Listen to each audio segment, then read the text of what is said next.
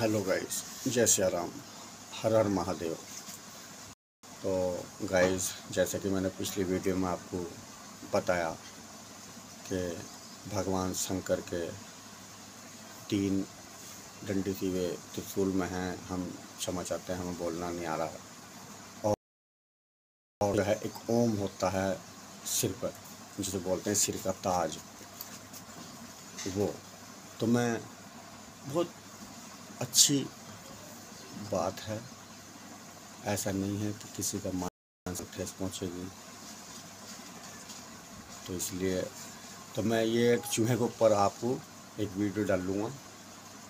इसके बाद अभी डाल लूँगा इसके बाद। तो आप देखना, एक वो चूहा था अभी आपने देखा होगा कितनी ऐसा नहीं है। अच्छे भी होते हैं, बुरे भी होते हैं। दुनिया में जय श्री राम। तो जी, अब देखो, वो तो एक बदमाशी वाला चूहा था। अब उसकी चूहिया देखना, उसकी चूहिया, वो कितनी मतलब आप देख कर खुश हो जाओगे कि क्या दिखा दिया। देखो, लेकिन दोनों के कर्म एक साथ नहीं जानेंगे अलग अलग जो अच्छा है, जो बुरा है, वो अलग। तो जय श्री राम।